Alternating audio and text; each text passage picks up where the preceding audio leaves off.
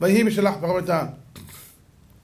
אותו פרעה, אותו רשע, אותו אדם שאמר שהוא אלוהים ואמר לי יאורי ואני עשיתיני. אותו אדם שאמר למשה ואהרון מי השם אשר אשמע בקולו? אותו אדם שאמר לא ידעתי את השם וגם את ישראל לא אשלח? אותו אדם רבותיי שהתעלל והתעמר בעם ישראל בצורה שאי אפשר לתאר אותה, אדם אכזר, קרמזג, רשע מרושע, שכמה מכות שקיבל וכמה מסרים שהשם נתן לו, זה לא הזיז אותו. אתם יודעים, לפני שבועיים הייתי, יש לי איזה תלמיד שגר בנחלים, הלכתי לבקר אותו ביום שישי, היה לי איזה עניין, אז הוא אמר לי, הרב, בוא, בוא, בוא תראה. הכניסתי שם מאחורי הבית שלו, יש שם חוות סוסים. שם ממש, אתם יודעים, סוסים, חווה, יש שם חווה טיפולית, תאים, תאים, תאים של סוסים, והבנתי מה זה קיבל סוס פרעה. הבנתי מה זה סוס פרעה.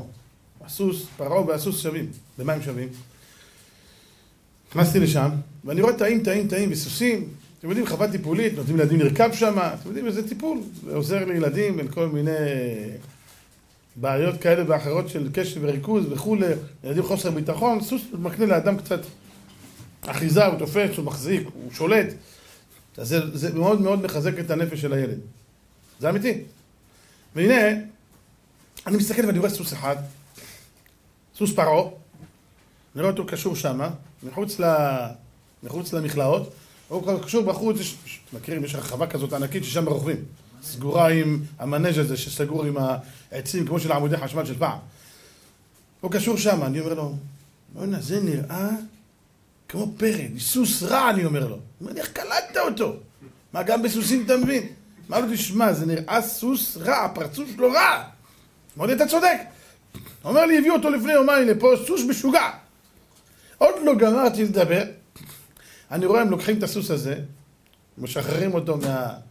מהעץ, פותחים את החבל ולוקחים אותו פנימה. איזה בחור, יש שם באמצע, אתם יודעים, עמוד כזה שמריצים את הסוסים מסביב, שלמד אותם ככה להיות אה, אה, ממושמעים.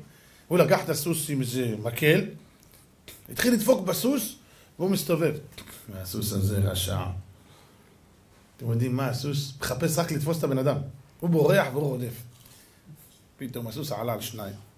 הוא הוריד את שני הרגליים שלו לתוך הראש שלו. אני אומר לכם, מילימטר הוא פספס אותו, הוא היה הורג אותו במקום. אתם יודעים איך הוריד את הרגליים? לא תגיד שהוא נפל. הוא הוריד אותם ככה, לפוצץ לו את המוח. והוא ברח. אני במקומו הייתי בורח עד עכשיו. רק בורח. המשוגע הזה, כאילו לא קרה כלום. רק נפל לו המקל, אמרתי זהו, הסוס תופס אותו.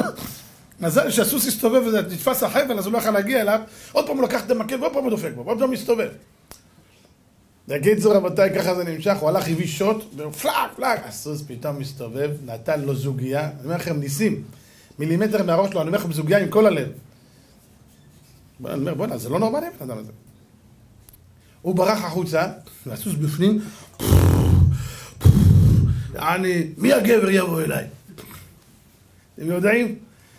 כשהוא היה בחוץ, אחד החברים אומר, הוא לא כנוע, הוא צריך לקבל מכות צריך לשבור לו את העצמות עד שהוא ייכנע. הבנתי מה זה סוס פרעה. עד שהוא לא יקבל מכות רצח, ישברו לו את העצמות, הוא לא יגיד מי כמוך בעינים השם. דן, צפרדע, קינים, ערוב, לא יישבר, או לא ייכנע לבבו יערל. עכשיו הבנתי מה זה קיבל סוס פרעה. הסוס ופרעה שווים. כדי לחנך אותו צריך לתת לו. רבותיי, מי זה הפרעה הזה? שאנחנו כל כך מדברים עליו. זה אצלנו פה. לי יש פרעה, לך יש פרעה, כל אחד והפרעונים שלו.